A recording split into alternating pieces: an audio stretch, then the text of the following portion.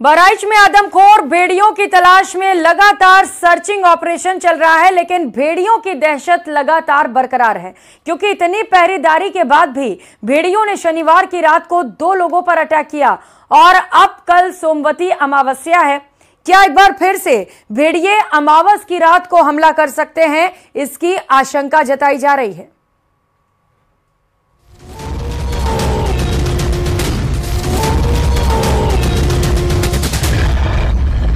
शनिवार की रात को भेड़ियों का हमला।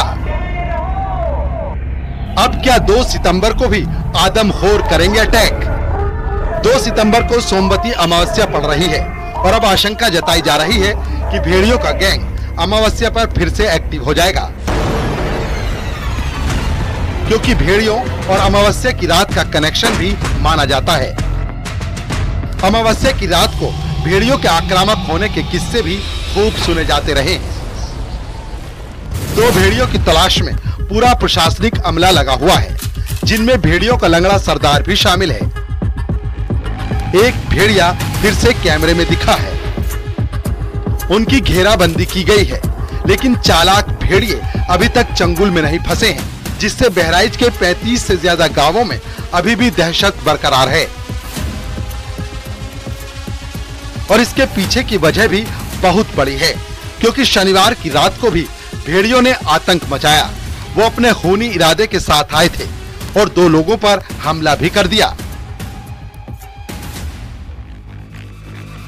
इनमें एक बच्चा और एक बुज़ुर्ग शामिल है, लेकिन भेड़िए अपने मंसूबों पर पूरी तरह कामयाब नहीं हो पाए। अभी तक भेड़िए नौ लोगों को मौत की नींद सुला चुके हैं।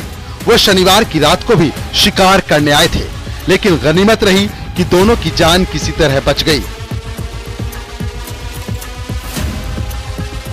शनिवार की रात भेड़ियों के हमले की आशंका जताई जा रही थी, जो पूरी तरह सही साबित हुई। वाइल्ड लाइफ एक्सपर्ट्स का भी इस पर कहना है कि भेड़िए जब कोई शिकार करते हैं तो उनका खाना पचने में दो से तीन दिन लग जाते हैं।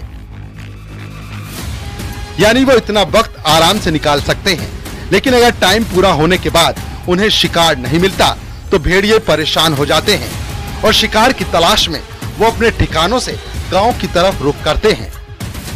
और बेहद चालाकी से वो अपने शिकार को ढूंढकर उस पर टूट पड़ते हैं।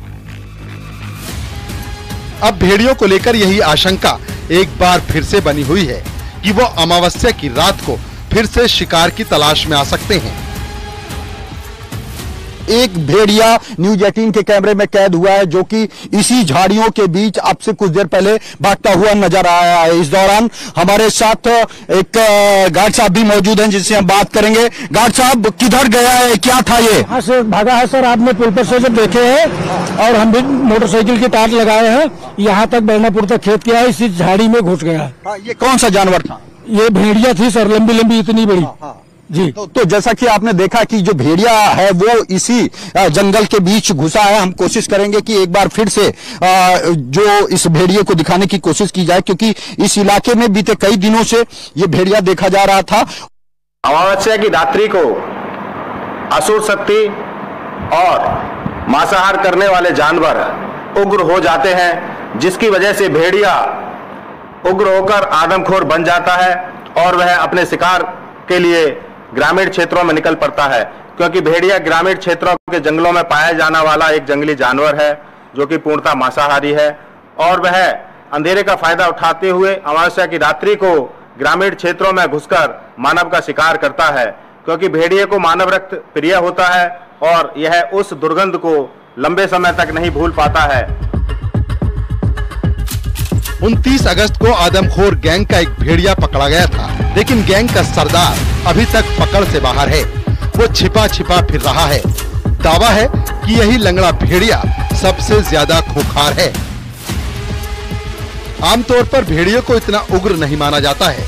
वाइल्ड लाइफ एक्सपर्ट्स भी आशंका जता रहे हैं कि एक भेड़िया लंगड़ा हो चुका था, जिससे उसे शिकार करने में दिक्कत हो रही थी। और इसीलिए उसने शिकार के लिए मासूमों को चुना। वन विभाग ने भी भेड़ियों के पद चिन्हों की पहचान की है, जिसमें सामने आया है कि एक भेड़िए के पैर में दिक्कत है, जिससे वो ठीक ढंग से नहीं चल पा रहा।